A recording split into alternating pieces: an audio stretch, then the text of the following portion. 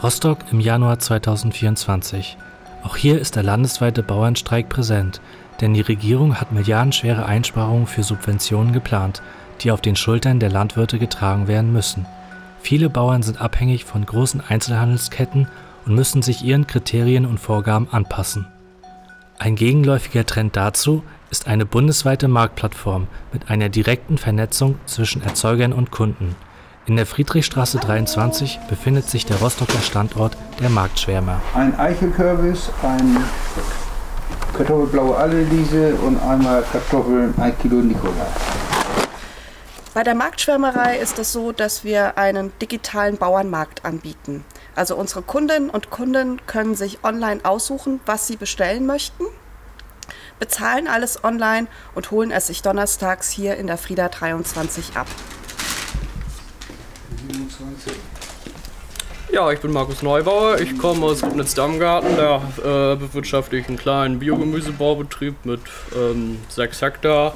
Ja, warum ich bei den Marktschwärmern bin, ist eigentlich, weil es für mich eine super Lösung ist, die Produkte direkt zu vermarkten, dass ich hier den Kontakt direkt mit den Kunden äh, ja, finde und ja, super Sache.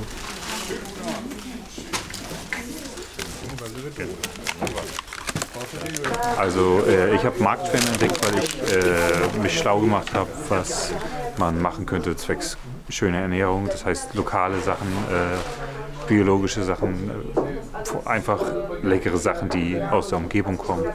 Äh, und da bin ich auf Marktschwimmen aufmerksam geworden und nach der ersten Bestellung wusste ich, das werde ich jetzt jede Woche machen, weil es einfach super tolle Produkte sind und äh, super lecker, super frisch und besser, besser geht es eigentlich nicht.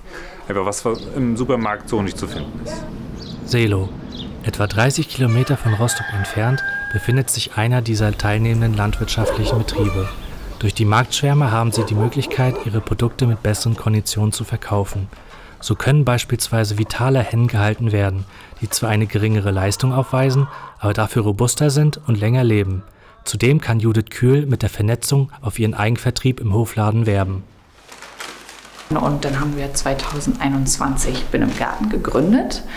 Äh, wir stehen für äh, ultrafrisch und vielfältig, ähm, regional angebautes Gemüse und ähm, produzieren jedes Jahr ungefähr 40 bis 50 verschiedene Gemüsesorten.